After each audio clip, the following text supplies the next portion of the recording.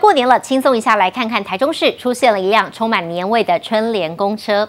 有民众发现了丰原客运二八零线的公车车窗上贴满了不同政治人物印赠的春联，不分党派齐聚一车，有如是年度的春联大赏。乘客不仅能欣赏春联题字，还能免费索取春联跟红包。许多款的春联，包括有台中市长卢秀燕的“龙赚大钱”，还有现任总统跟下一任总统联名的“万物兴隆”是最受欢迎。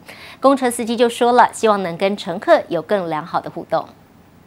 民众一上车，映入眼帘的左右车窗上全贴满红彤彤又喜气的龙年春联。仔细瞧，每张都是不同政治人物印赠的春联，包括小英总统和副总统赖清德的联名春联最稀有，还有妈妈市长卢秀燕的也没少，就连前总统马英九的亲笔春联，通通看得到。喜欢想带回家，还能免费拿，开心这个好。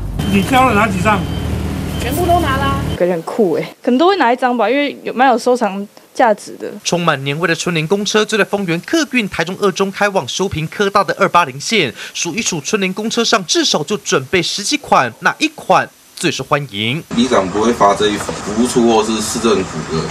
一楼才能到。现任总统跟五二零的那个准总统，很多客人都是啊，然后去收藏。每到过年，各家立委议员都会印制春联，客运司机利用休息时间到处搜集，同时也帮他凑齐不同版本，就是希望能跟搭车民众。一起分享，希望可以推动那个公车礼貌运动，都会跟我说新年快乐啊，甚至拿车上红包袋就直接抽一个包给我。公车上贴春联，营造浓浓年味，不止让司机长时间握方向盘不枯燥，也能让搭车乘客看得新奇不无聊，留下美好印象。